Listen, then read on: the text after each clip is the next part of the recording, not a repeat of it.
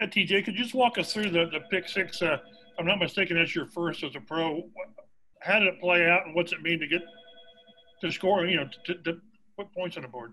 Yeah, and getting that end zone, baby. That's what I'm talking about. Uh, it was good, man. It was it really a dialed up play by uh, Coach Flus, a play that we've kind of worked on uh, all through camp that really came to life. Uh, definitely a disguised play that we felt like would give the the quarterback a different uh, post and pre pre snap read.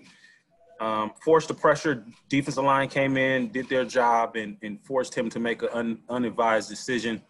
And uh, the great ones always told me, catch the ones that comes to you, and you lead the league. So after that, it was just my job to catch it and return it. And uh, we've worked on interception drills a lot. That's something that we've our goal is, you know, in that 40 range. And so uh, definitely guys coming back and getting blocks is, is, is all part of that that that whole situation. When's your last pick six? Oh, college, senior year.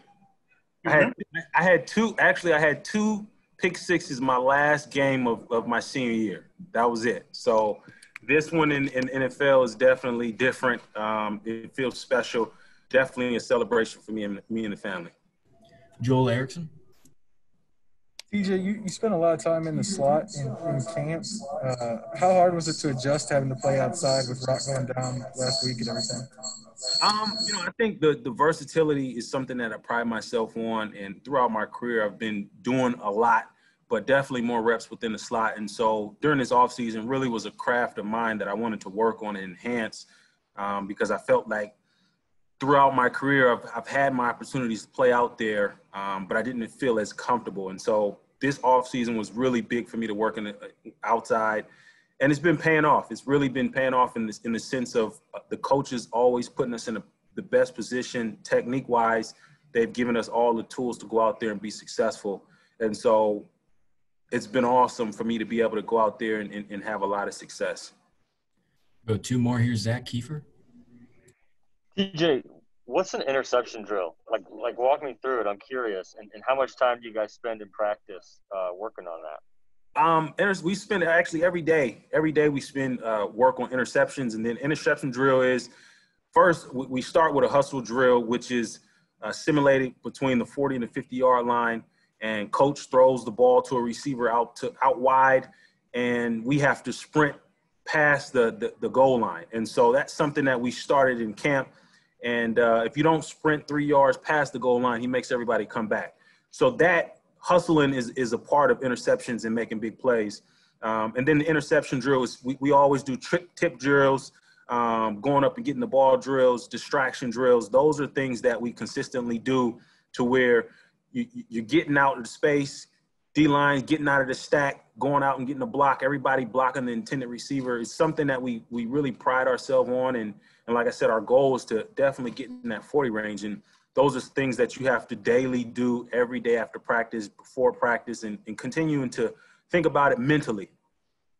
That's not something you just. That's not just a number you throw out. You guys are actually taking interceptions, and and then you guys are preparing to turn those into points, not just an interception. Yeah, no, we're we, we always want to score. Anytime we touch that rock, man, you know that's the most prized possession out on the field.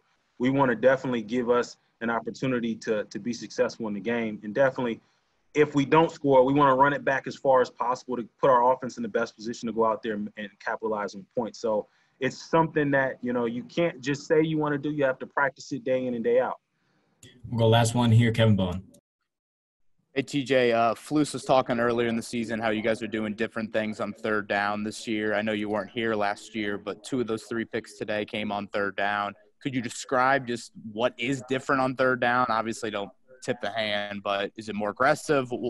How would you describe it? You know, I think really the big thing that we've worked on is um, pre and post snap reads. You know, I think that's something that every quarterback in the National Football League doesn't like. You know, if you can show them something pre snap and then in post snap, uh, you're giving them a different leg, a look. That tick of hesitation definitely gives our D line a chance to get to the rusher I mean, uh, get to the quarterback and force him to make bad decisions. And I think that's probably probably the biggest thing that we've harped on all year is pre and post snap reads. What are we? What is the quarterback seeing initially, and then as soon as the ball is hiked, what are we giving them? And I think that's probably one of the biggest things that I've noticed um, around the league, especially something that we continue to harp on ourselves is making sure that we're not just one dimensional and showing them one thing and giving them that one thing.